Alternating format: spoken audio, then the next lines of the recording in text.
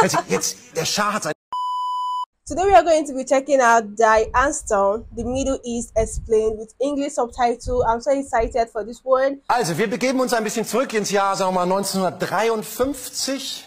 Im Iran regiert das Böse, Mohammed Mossadegh. Was? Der Mann war Rechtsanwalt.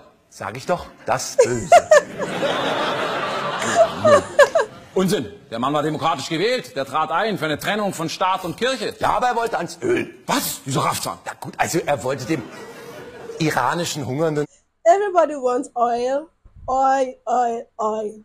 iranischen Volk sein eigenes Öl zurückgeben, das sich die Briten geschnappt hatten. Aber das sind Details, das, das brauchen sie nicht. Sie sind Amerika. Genau. Der Mann muss weg. Genau. Ein Problem. He has to go. Yeah. Ein Problem. Der Mann ist demokratisch gewählt. Oh wow. Schicke ich die CIA. Gut, toll. Die CIA besticht jetzt die Presse, Abgeordnete und kauft sich ein paar Gangsterbanden. Die versetzen dieses Land Iran ins Chaos, bis die Armee putscht und sie ihren Mann, den Schah, einsetzen können. Hm, Klingt aber schon ein bisschen nach Verschwörungstheorie, oder? Ja, das war's auch bis letztes Jahr. Da hat die CIA die Akten geöffnet. Ah, dann ist das jetzt Geschichte. Kann man so sagen. Und äh, das Schöne darin ist, ihr Schah hat im Iran quasi eine stabile Diktatur installiert, die ihnen und den Briten die Ölquellen sichert. Wir haben also die westlichen Werte erfolgreich verteidigt. Ja, bis das Böse wieder sein Haupt erhebt. Was, noch mehr Anwälte? Nein, schlimmer. Also jetzt, der Schah hat sein Volk so unterdrückt, dass radikale Islamisten unter Ayatollah Khomeini den Schah beiseite schaffen und selbst ein religiöses Terrorregime eröffnen. Was? Da muss ich eingreifen. Nein, na, ruhig Brauner, das lassen wir jetzt mal jemand anders ran, ne? Ah, Hussein, den bombe ich weg. Nein! Hussein marschiert in den Iran ein. Er kämpft gegen das Böse. Äh, Dann schicke ich ihm Waffen. Na, nur ein kleines Problem. Was? Was ist das denn? Ein Waffenembargo. Scheiß Pazifisten. Ja. Ah.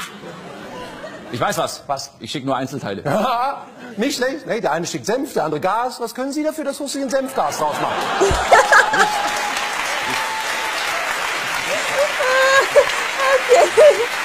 He reminds me so much of Boca Fispa, and I've heard Boca um, Fispa talk about um um the man he's talking about, Aya Kalumi.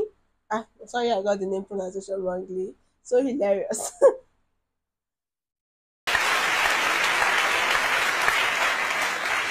So, ja, führt acht Jahre lang Krieg, 750.000 Tote. Die Giftgasangriffe erfolgen übrigens äh, mit yeah, ihrem Wissen.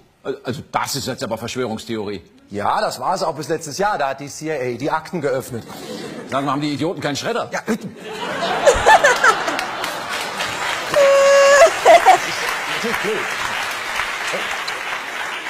So, Vorsicht hinter Ihnen. Was? Nein.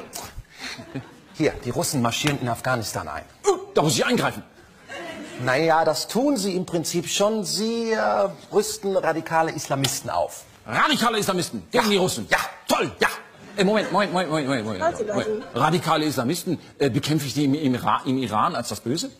Ja, aber die gegen die sehr bösen Russen sind die. Weniger böse. Ja. Wunderbar. Da werde ich mich gleich mal bedanken bei einem der Anführer, die da für uns in Afghanistan kämpfen. Äh, wie heißt denn da jemand? Osama bin Laden. Ich rufe später an. Gut.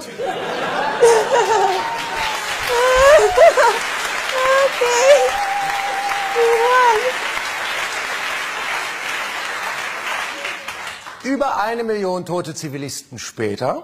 Das Gute hat gesiegt. Ja, bis das Böse wieder sein Haupt erhebt. Was? Die Russen kommen zurück. Nein, Saddam Hussein. Nee, Aber der war doch gerade eben der Gute. Ja, aber jetzt marschiert er gerade in Kuwait ein.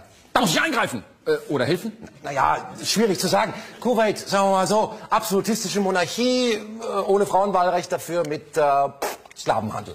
Er kämpft also für die westlichen Werte. Ja. Er will ans Öl. Was? Ja. Mein Öl? Meine Werte? Ich meine, da muss jemand eingreifen. Warum tut denn niemand was? Ja, die Vereinten Nationen sind nicht so in Kriegslaune. Scheiß Pazifisten. Wissen die denn nicht, dass irakische Soldaten Säuglinge aus Brutkästen herausgerissen haben? Wo, wo, wo, wo, wo haben Sie das denn her? Hat eine Hebamme ausgesagt. Öffentlich. Sie wird sich später als Tochter des kuwaitischen Botschafters herausstellen. Die ganze Geschichte ist frei erfunden? Von einer amerikanischen PR-Agentur. Manchmal braucht das Böse auch ein bisschen Publicity. Sie Schlingel. Gut, die Weltöffentlichkeit ist empört. Sie haben Ihren Krieg, Wirtschaftsembargo, über eine Million Tote. Das Gute hat wieder gesiegt. Bis das Böse wieder sein Haupt erhebt. Denn seitdem sind in Kuwait amerikanische Soldaten stationiert. Und äh, Al-Qaida und Osama Bin Laden empfinden das als Entweihung der heiligen Erde. So, den Rest kennen Sie. Äh, Afghanistan, 9-11, Osama Bin Laden, World Trade Center, 3000 Tote. Woher kommt denn all der Hass auf den Westen? Ich weiß es nicht. Sagen Sie mal, die Al-Qaida, wo kriegt die eigentlich ihr Geld her? Oh, bis jetzt von Ihnen. Hoppala. Ja, und von Saudi-Arabien, Katar und Kuwait. Eingreifen, wegbomben! Nein, das geht nicht. Das sind die Guten, die haben zu viele von Ihnen Werten. Und irgendwas in der Nähe? Ja, Irak wäre gerade frei. Da war ich schon lange. Ja, gut. Außerdem Was denn? hat Saddam Hussein Massenvernichtungswaffen, sagt die Hebamme. Was?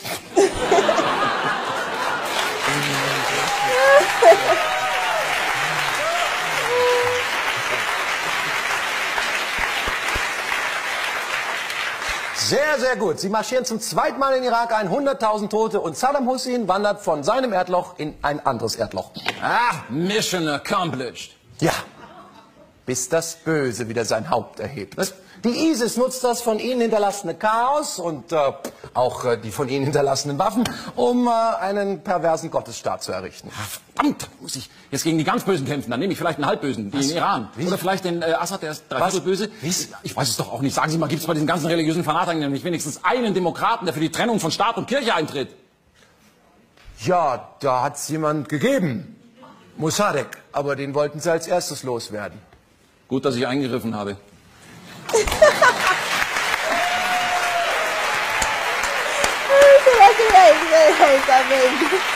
okay.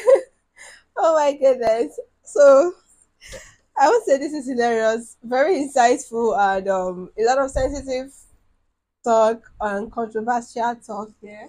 You know, because um, it's actually just a lot to comprehend right now. I've had Vika um, Pispa talk about um, Usaini and Iota um, com- uh, comedy and the likes of them. But at the end of the day, I just feel like it's so um, controversial and um, a lot of um, information out here. I love how they bring all of these um, um, things together and people and facts together and people laugh to it. Love German satire, the sense of humor is just so dark and um, the political satire is actually giving a real insight to what um um, history has been all about and what has happened so far in the world. Um, let me know what you think about this video down below. Right now, I just want to comprehend all of this information and check up some facts on the internet. Let me know what you think about this in the comment section. I'll see you guys on my next one. Bye. Guys.